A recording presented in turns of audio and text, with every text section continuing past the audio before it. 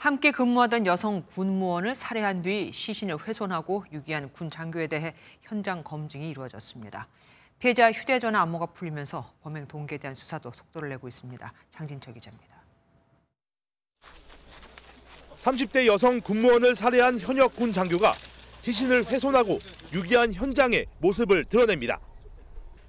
강을 가로지르는 부교 중간쯤까지 걸어가더니 난간 사이로 봉지를 떨어뜨립니다. 현장 검증은 시신을 유기한 이곳 화천 북한강 일대와 살해가 이뤄진 경기도 과천 군부대에서 진행됐습니다. 피해자 유족에 대한 사과는 오늘도 하지 않았습니다. 본인 가족들한테 미안하지 않으세요? 유가족들에게 할 말 없으니까 범행 동기를 밝히기 위한 수사도 속도를 내고 있습니다. 경찰은 피해 여성의 휴대전화 암호를 해제, 분석에 들어갔다고 밝혔습니다. 또 프로파일러를 투입해 범죄 행동 분석을 하고 있다고 덧붙였습니다.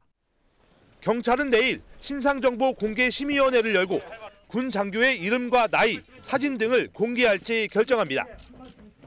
2010년 신상정보 공개 제도가 도입된 이후 군인 신문의 피의자가 심의 대상이 된 사례는 이번이 처음입니다. MBN 뉴스 장진철입니다.